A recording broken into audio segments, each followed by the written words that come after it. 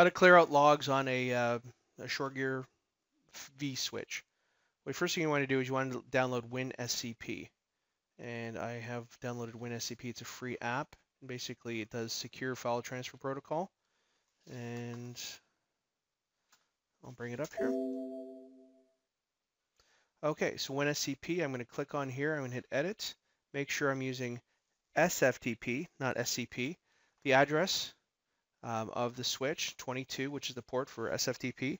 Admin, you can no longer log in as root, and the password is ShoreTel, capital S, capital T. And I'm going to hit login. Once I log in, it's going to give me sort of a, a web-based or an FTP-based application. What I want to do here is focus on the right-hand side. The left-hand side is my desktop.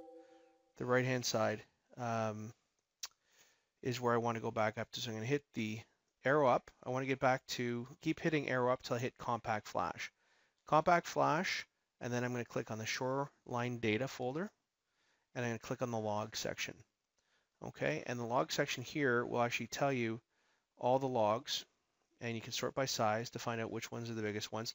Now, what you want to do is anything that has sort of a seven digit or has three days worth of information. So if you sort by name, you'll see things like these boot log messages. I wouldn't delete these. What I'm going to do is the CSI, CIS, CSIS, um, the DBHS, anything that's keeping track. And you can tell it's three days because you look at the, the tag or the file extension. You'll see that, um, for instance, let's look here. That is the 13th of July, 2012, 13th of July, 2013. Uh, sorry, wrong way. 2013, July 12th, 2013, July 13th, 2013, July 14th. Okay, if I wanted to, what I'm going to do is I'm going to get rid of these folders. Okay, and these are the only ones that you want to actually delete. The other ones here, uh, for instance, let's see, the CSIS, you know, the log trace, uh, monitoring agents, all that sort of stuff. Um, and what you could do if you're just not comfortable deleting these logs is get rid of everything but the current day. Okay, so for instance, I'm going to just use this uh, this one here, monitoring agent. So today is the 15th, so I'm going to get rid of all these. Now what I can do here is I can take all these and I can copy to my desktop,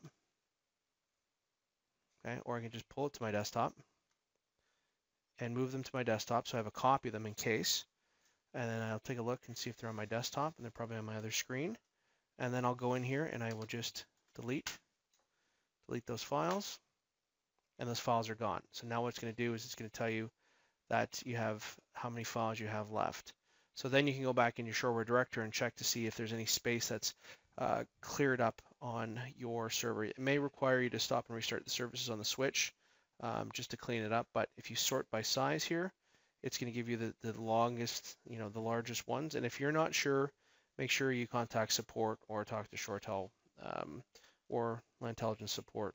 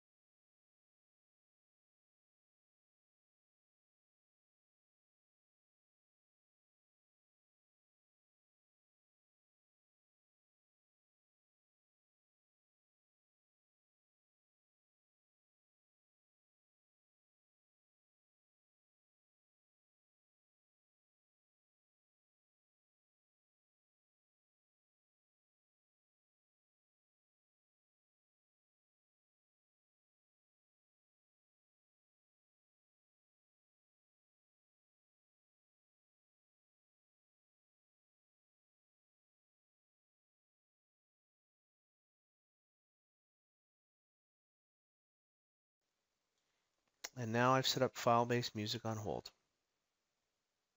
Now all I have to do is call and test it out.